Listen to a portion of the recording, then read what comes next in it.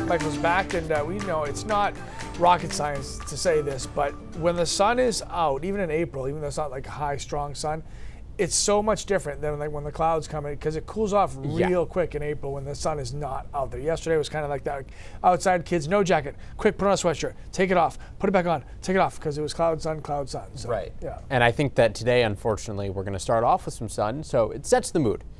Nice to start the day, but then clouds are back later on this afternoon. Since we didn't have any clouds overnight, temperatures were able to drop down quite a bit. We've got a lot of spots that ended up in the 20s, and I expect temperatures to drop even another couple degrees before we see things turn around and the sun actually rises uh, here in Maine. Right now, 31 in Portland, 27 in Bar Harbor, 30 in Millinocket, 28 in Greenville. So still a bit of a split as to where some of the cooler spots are. But notice 24 in Fryeburg, 25 in Sanford. And if we zoom out a bit here, that's the case across New England. 31 uh, in Albany, New York right now, 33 in Burlington, Vermont. And then heading into southern New England, temperatures are generally in the 40s. But this is relatively chilly for this time of year. Of course, we still expect frost for the next couple weeks across Maine, at least the chance of frost. But again, we are running below normal uh, for the date, at least this far in April. Satellite and radar not showing much at all going on, and I don't really expect that to change much.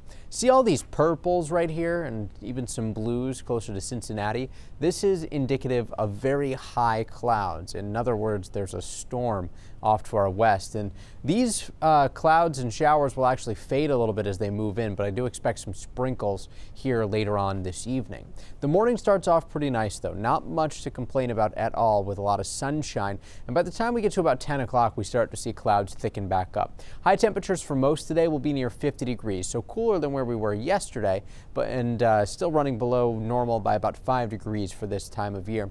Notice some parts of New Hampshire will actually end up a little bit warmer. It's this onshore flow that we're going to be dealing with that keeps temperatures just a little bit chillier for us. Light showers begin to overspread western Maine around 6 p.m. this evening, making their way to central Maine by about 8 or 9 this evening. And we'll just see a couple more light showers overnight tonight. Still not expecting really any big impacts from these, and they should be pretty light. Now, tomorrow we actually clear things out pretty nicely across central and southern Maine, but in the western mountains, we'll be dealing with uh, wind out of the northwest upslope flow, and that's going to keep the showers going uh, across the mountains and also keep some of the clouds around. But downwind of the mountains, while it's going to be breezy, I do expect things to be much nicer.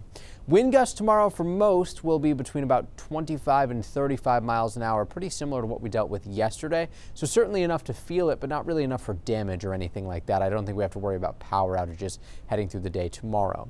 By Saturday, we've got mostly sunny skies back in the forecast. We'll be watching this warm front to our west approach.